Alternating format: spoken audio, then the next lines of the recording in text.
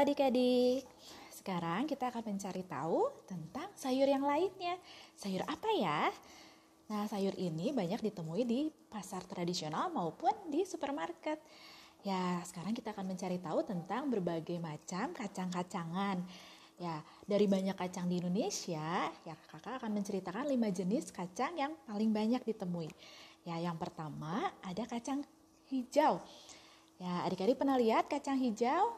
Nah, seperti ini. Ya, ini bijinya yang kering. Ya, kacang hijau merupakan sumber bahan makanan berprotein nabati yang tinggi. Nah, bagian yang paling bisa dijual, yang paling menghasilkan dari segi ekonomi yaitu bijinya. Biji kacang hijau direbus hingga lunak dan dimakan sebagai bubur atau dimakan langsung. Adik-adik pernah coba bubur kacang hijau? Biji matang yang digerus dan dijadikan sebagai isi makanan juga ada loh adik-adik. Mungkin adik-adik pernah coba namanya ada onde-onde dan juga bapau. Nah itu terbuatnya bagian dalamnya itu terbuat dari kacang hijau adik-adik. Ya, ada juga kecambahnya. Nah, kecambah itu apa sih adik-adik? Kecambah itu adalah tunas yang tumbuh dari biji. Ya, kecambah kacang hijau dijadikan sayuran yang dimakan termasuk di Indonesia adik-adik di kawasan Asia Timur dan Asia Tenggara. Ya mungkin adik-adik pernah tahu toge. Nah itu adalah kecambah dari biji kacang hijau. Nah seperti ini ya gambarnya adik-adik. Selain diolah sebagai uh, isi kue seperti onde-onde dan juga bapau, biji kacang hijau juga bisa diolah menjadi tepung loh adik-adik. Nah namanya tepung hun kue. Nah, biasanya juga digunakan untuk pembuatan macam-macam kue. Lalu bisa juga diolah menjadi mie ya namanya soun. Nah, mungkin adik-adik pernah lihat ya soun atau mungkin pernah coba juga. Apa aja sih adik-adik manfaat dari kacang hijau? Ya, seperti yang sudah kakak sebutkan tadi, kacang hijau memiliki kandungan protein yang cukup tinggi dan juga sumber mineral penting, misalnya kalsium dan juga fosfor. Kalsium dan fosfor ini bermanfaat untuk memperkuat tulang kita. Selain kalsium dan fosfor, di dalam kacang hijau juga terdapat lemak. Ya, kadar lemak di dalam kacang hijau tidak banyak. Nah, hal ini akan menyebabkan bahan makanan dan minuman yang terbuat dari kacang hijau tidak mudah berbau karena tadi kadar lemaknya rendah atau tidak banyak. Lalu, selain itu juga eh, lemak yang ada di dalam kacang hijau penting juga untuk membantu kesehatan jantung kita adik-adik. Yang berikutnya, jenis kacang kedua yang akan kakak ceritakan yaitu kacang kedelai. Nah, seperti ini adik-adik.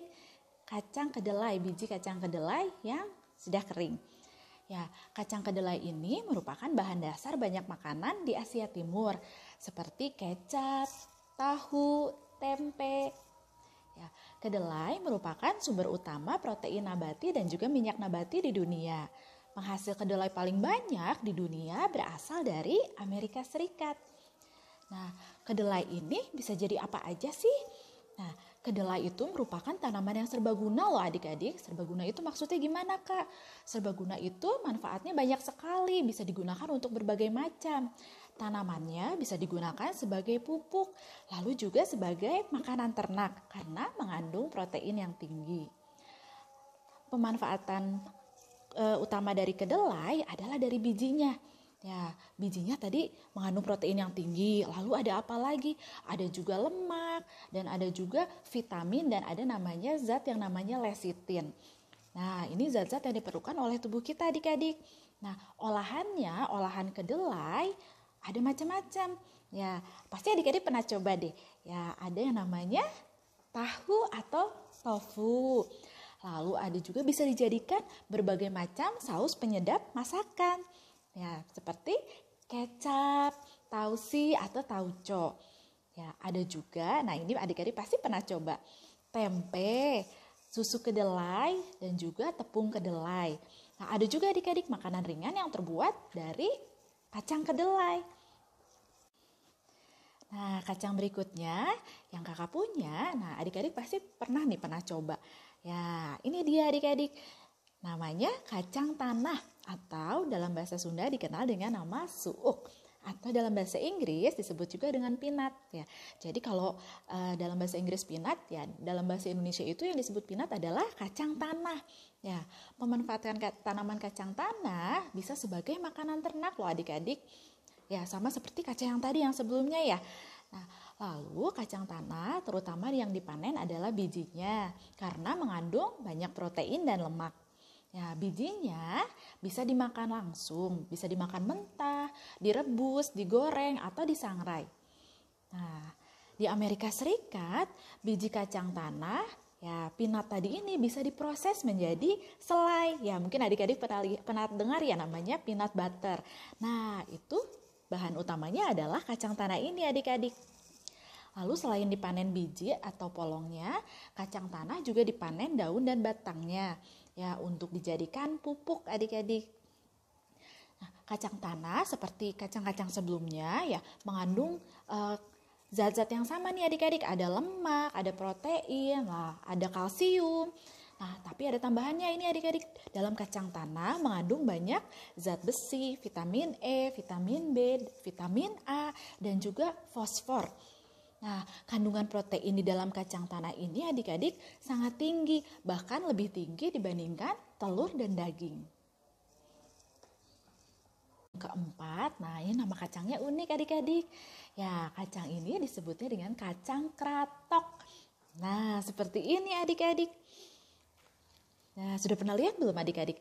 Kacangnya namanya unik banget ya adik-adik.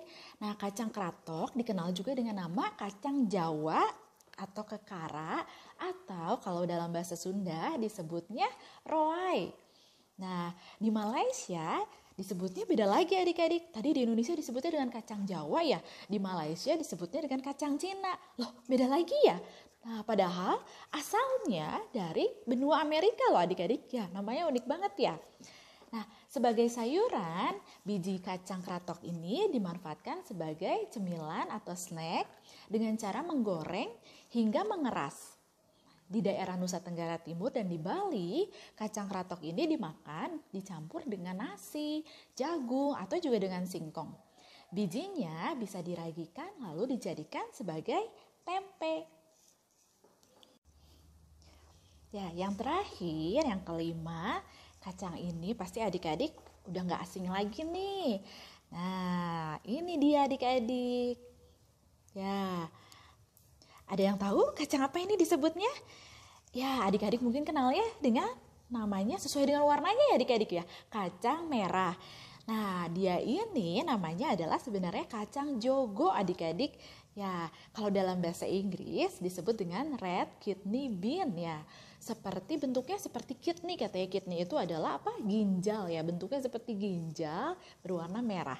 Kacang seperti ginjal berwarna merah. Makanya disebutnya red kidney bean. Ya kalau kita sebutnya apa? Kacang merah atau kacang jogo. Ya banyak ditemukan adik-adik di dalam masakan Indonesia. Biasanya adik-adik suka temukan ya, dimasak jadi apa nih? Dimasak ada di rendang lalu ada juga dimasak sebagai sup Ya, jadinya sebagai sup kacang merah ya. Nah, semua kacang-kacangan tadi banyak manfaatnya adik-adik ya. Sangat uh, menyehatkan tubuh kita. Ya, semoga adik-adik suka ya uh, dengan semua kacang-kacangan yang tadi kakak sebutkan. Nah, adik-adik sekarang kakak punya pertanyaan nih. Tadi adik-adik kan sudah dengar ya, dari lima jenis kacang yang kakak ceritakan, bisa diolah jadi macam-macam ya. Coba adik-adik sebutkan tiga macam olahan yang adik-adik ingat. Boleh dari kacang merah, dari kacang kedelai, kacang hijau. Ya paling sedikit tiga, kalau bisa lebih malah lebih bagus. Ya lalu yang kedua, dari lima jenis kacang tadi, adik-adik pernah coba yang mana? Ya, adik-adik ceritakan ya, gimana rasanya, ya. Ya, berikutnya kakak akan ajak adik-adik menanam tapi tidak menggunakan tanah adik-adik. Kita akan menggunakan media kapas. Ya caranya ya adik-adik sudah terima kan cup atau gelas plastik? Ya ada juga kapas dan juga biji-bijian. Kapasnya diletakkan di dalam cup ini lalu adik-adik tambahkan air. Diteteskan atau disemprot aja adik-adik. Jangan sampai benar-benar tergenang. Ya lalu ditambahkan biji-bijiannya. Bijinya tidak usah terlalu banyak adik-adik. Boleh tiga atau empat biji aja Ya boleh pilih bijinya mau kacang kedelai, mau kacang merah, kacang hijau ya. Adik-adik juga boleh kombinasi ya atau ada lima jenis kacang di sini boleh ya. Nah, lalu adik-adik uh, tiap hari disimpan di tempat yang teduh. Jangan di tempat yang terkena sinar matahari langsung. Nah, disiramnya juga tidak perlu banyak-banyak adik-adik, cukup disiram dua hari sekali. Ya disiramnya diteteskan aja. Atau disemprot tadi dengan botol semprot. Ya nanti kita lihat perkembangannya seperti apa. Ya punya kakak ada yang sudah uh, tumbuh nih adik-adik. Ya nanti kita lihat ya bagaimana perkembangannya. Ya dirawat ya adik-adik. Adik-adik